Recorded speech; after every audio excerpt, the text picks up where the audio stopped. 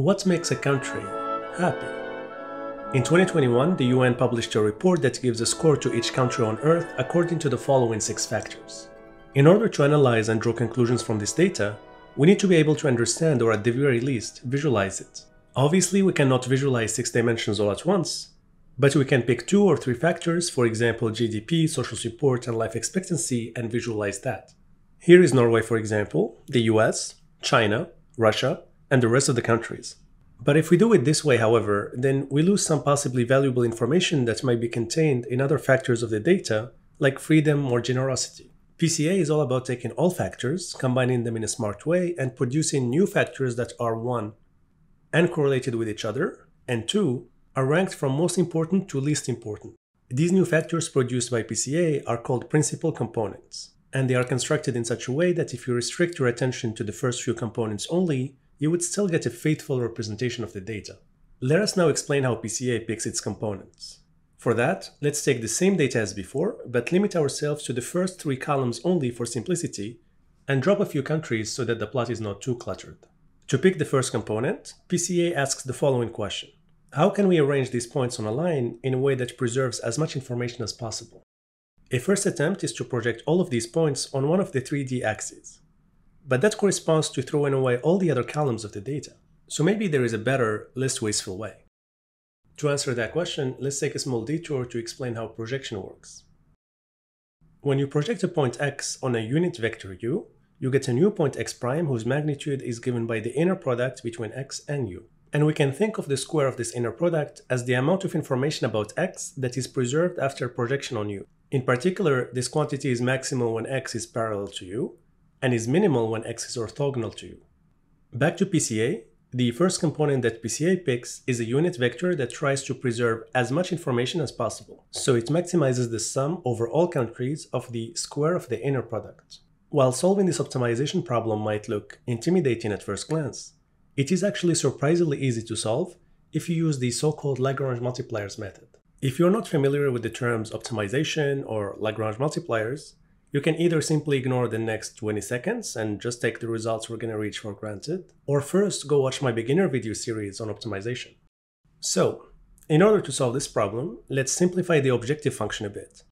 With some not terribly complicated manipulations, we can rewrite this expression as u times the matrix C times u, where C is known as the covariance matrix of the data. We then form the Lagrange function, take the gradient with respect to u, and set it equal to 0. In conclusion, we know that the direction u that preserves information the most after projection satisfies the equation c times u equals lambda u for some unknown scalar lambda. And if this equation looks familiar to you, there is a reason. This is exactly the equation of the eigenvectors and eigenvalues of C. And interestingly, the amount of information preserved after projection on an eigenvector is given by the corresponding eigenvalue. So clearly, the best direction to pick is the eigenvector with the largest eigenvalue. So for our example, this is what the eigenvector with the biggest eigenvalue looks like. And one way to interpret this component is that roughly all three original factors have equal contribution. And for this reason, let's call this component power. When we project the data points on this component, we note that Icelandic countries that we normally associate with happiness, like Norway for example, are all positioned high on this axis, while countries like Niger are positioned low.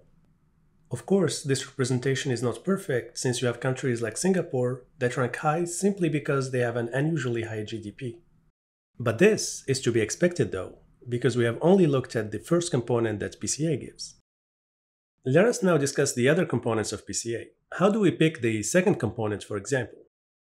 Ideally, the second component is a unit vector that does not contain information that is already contained in the first component, or in geometric terms, we want the second component to belong to the subspace orthogonal to U1.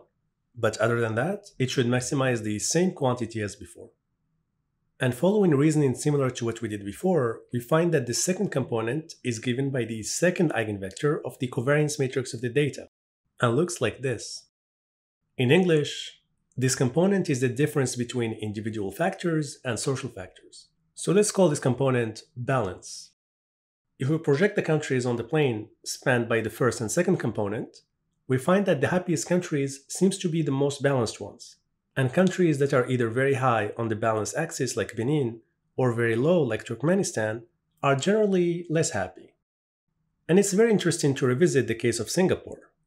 So, while it's doing great in terms of the power axis, the individualistic nature of its citizens seems to make it less happy of a country overall. More generally, the directions picked by PCA are exactly the eigenvectors of the covariance matrix. You see, every symmetric matrix like C has n eigenvector and eigenvalue pairs that are orthogonal to each other. The eigenvectors are exactly the components that PCA picks, and the eigenvalues give you a sense of the importance of the corresponding eigenvectors. For our case, we see that PCA suggests to look mostly at the power component and only look at balance for a more refined analysis or to compare countries of comparable power. In fact, we can make things even more precise. If we divide all the eigenvalues by their sum, we see that the component power explains about 85% of the data, while balance explains about 10% of the data, and the third component explains the remaining 5%. This was the basics of PCA and how it can help you analyze high dimensional data. If you want to dive deeper into the topic, you can look at the references in the description. And if you like the video, like and subscribe, and see you next time.